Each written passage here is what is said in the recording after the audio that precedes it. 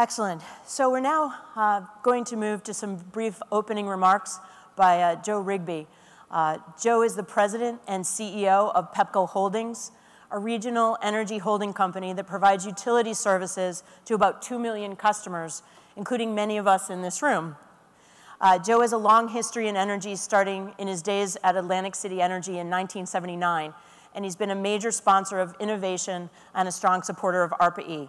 Please join me in welcoming Joe Rigby.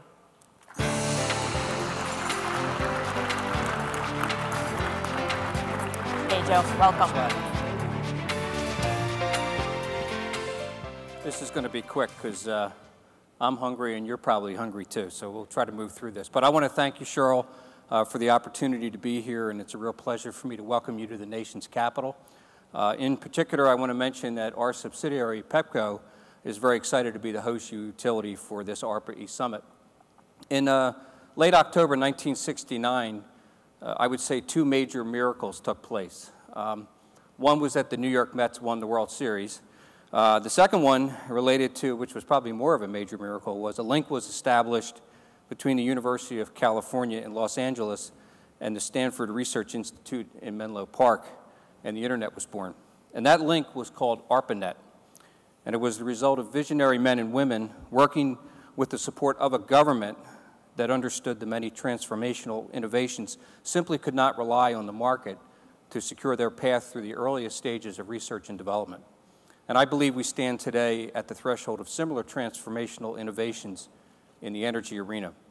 Electricity drove modernization and the economy, enabling the telegraph, the telephone, radio, and television, and the expansion of industry and business.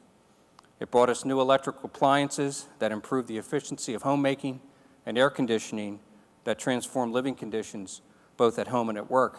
And those same forces of innovation and technology are once again changing our relationship with customers and the world we live in. Most significantly, electricity has powered global connectivity and the digital re revolution. These advancements have enabled the convergence of the electric system and information technology that will provide our customers with the enhanced information, services, and reliability that they expect in the 21st century. Speaking of my own company, which includes all the District of Columbia and portions of Delaware, Maryland, and New Jersey, we're staying focused on the customer by moving ahead with projects that increase system reliability and enhance customer service.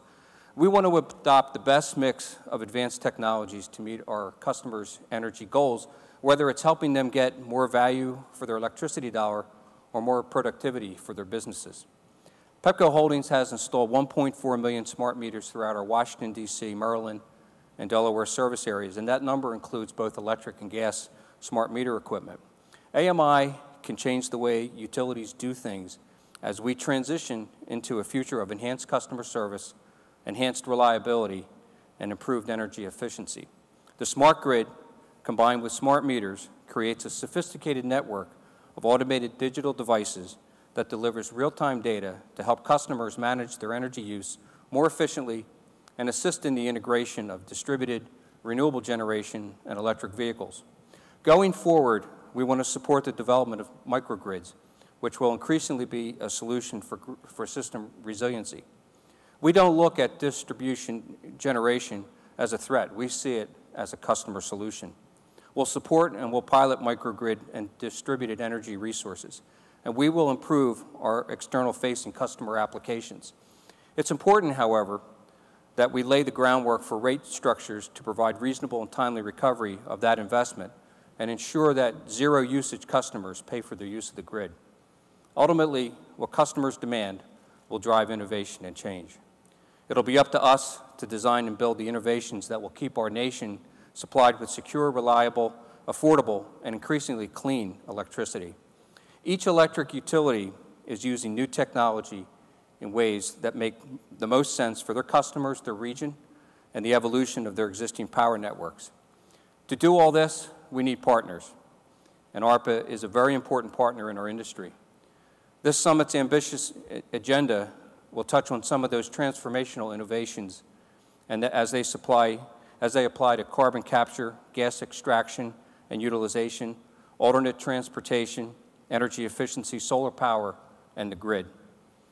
As energy innovators, it's up to us to think of new and better ways to meet the needs of our customers in more efficient and environmentally friendly ways. Pepco Holdings welcomes this transition to the utility of the future. As the grid operator, we see our role as the energy delivery superhighway, integrating new technologies to the benefit of our customers and to the environment.